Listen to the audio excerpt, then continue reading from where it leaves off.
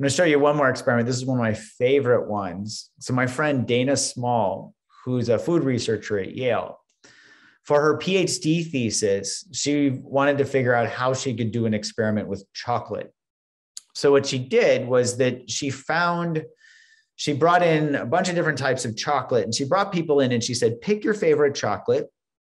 I'm going to put you in this scanner. It's called a PET scanner positron em- emission tomography. And the reason she used a PET scanner as compared to an fMRI scanner was that it, people can move their jaw. It tolerates a little more head motion than fMRI scanners do.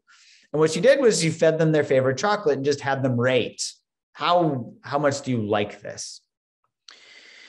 And what she found at the beginning made a lot of sense. You know, you're getting fed your favorite chocolate people rate it as 10 out of 10 delicious. I really want another piece. And she'd feed them more and more and more. And eventually people systematically march down this rating scale to the point where they're thinking man what am i doing here? What did i sign up for?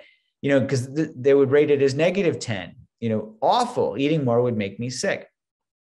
And one of the reasons this experiment's so interesting to me is that at both ends of the scale, at both ends of the spectrum, they were activating their posterior cingulate cortex. And you can see hmm, not exactly the medial prefrontal cortex, but let's zoom in on the posterior cingulate. So at 10 out of 10, this I want more, negative 10 out of 10, get this out of here. This makes me sick. I want this is awful. They were activating their posterior cingulate cortex. And this is one of the experiments that I think really helps us see how this getting caught up in experience actually works.